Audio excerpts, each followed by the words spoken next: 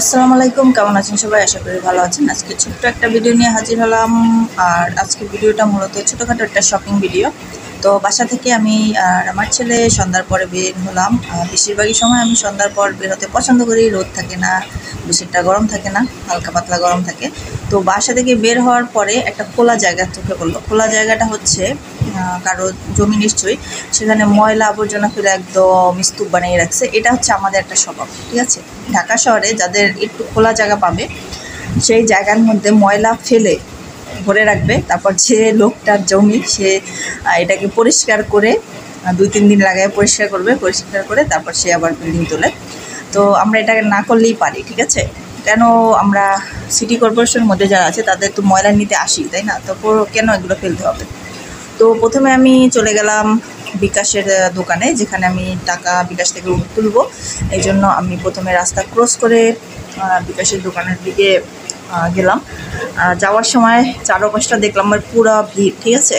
এখানে দোকানপাট বসে একদম কি একটা অবস্থা মানে মেইন রাস্তার মধ্যে দোকানপাট। তো টাকা তুলে আমি একটু দেখিয়ে দিচ্ছি, দোকানের সামনে থেকে এই যে পুরো রাস্তাটা ছিল খুবই ব্যস্ত রাস্তা, আগে ছিল এটার নাম বলতো ন্যাশনাল ব্যাংকের সামনে, আর এখন বলে খালপাট, ঠিক আছে?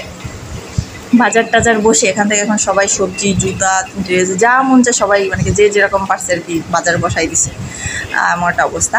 তারপরে আমি তার পাশে একটা দোকান ছিল, কাপড়ের দোকান। তো আমি সেই দোকানে গিয়েছিলাম।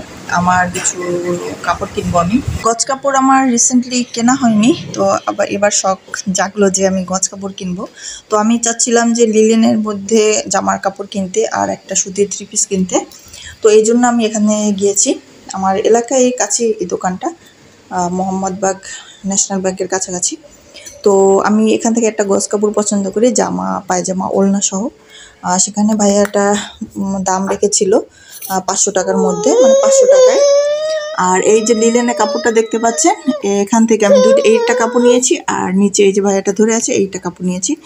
আর লিলেনের কাপড়ের গজ যে সে ধরেছে একশো আশি টাকা করে আহ, জানি না বেশি নিয়েছে না কম নিয়েছে কারণ আমার এই বিষয়ে এখন কোনো অভিজ্ঞতা নেই। আর যেহেতু দাম এখন খুব বেড়েছে, তাই এটা স্বাভাবিক হয়তো। তো আমি এই তিনটা কাপড় নিয়েছি, নিয়ে এখন আমি বাসায় যাব। আর তারপরে আমি একটু গিয়েছিলাম নাইনটি নাইনে। আমার দরকার ছিল একটা তেলের তেলের জার দরকার ছিল। তো এই জন্য আমি প্রায় এটা নিয়ে তিনবার গিয়েছিলাম ওখানে। তো তিনবার যাওয়ার পরেও আমি এবারেও পাইনি। তবু আমি ঘুরে ঘুরে দেখছিলাম যে আজকে অনেক ভিড় ছিল সেদিন নাইনটি নাইনে যে মানুষজন খুবই কেনাকাটা করছিল। আর স্বল্প মূল্যে আর কি ঘর সাজানোর বলেন, ঘরের আসবাব, আসবাবপত্র বলব না, কাপ পিরিচ এটা ওটা যা দরকার আর কি, ফুল টুল সব এখানে পাওয়া যায় একটা দোকানের ভিতরে নাইনটি নাইনে তো দামটা নাইনটি নাইন হলেও সেখানে দাম কিন্তু ভালোই যেটা যে রকমের দাম আর কি। আমি এখান থেকে আসার সময় দুইটা গাছ লাগানোর পট কিনে নিয়ে এসেছি। তো এই রকমের ভিডিও আসার কারণ হচ্ছে, নাইনটিনের ভাইয়াটা বলল যে এর আগে নাকি কে এই দোকানে ভিডিও করে নিয়ে যে তার লস হয়েছে। মানে সে আবার একটা দোকান দিয়েছে সেম জিনিস কিনে কিনে এই টাইপের কিছু একটা এই জন্য সে ভিডিও করতে দিতে চায় না। তো আমি ভিডিওটা এমনভাবে নিয়েছি, যাতে কিছু বোঝা যায় না যে কী। রকমের কী আর মানুষের অনেক ভিড় ছিল। এই জন্য সরি ভাইয়াটা এর আগে একবার নিষেধ করেছিল, ভাইয়া ভিডিও করবেন না। মানে সচরাচর এমনিতে কোনো দোকানে গেলে যেটা হয়, এই ভিডিও করবেন না, এই সেই। এটাই বলেছিল।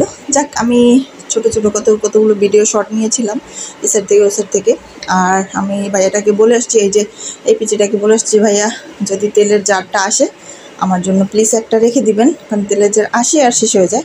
আর তেলের প্লাস্টিকের যে জারগুলো পাওয়া যায়, একশো টাকা করে মেবি সব বাসায় মোটামুটি একটা থাকে হ্যাঁ তেলের জার।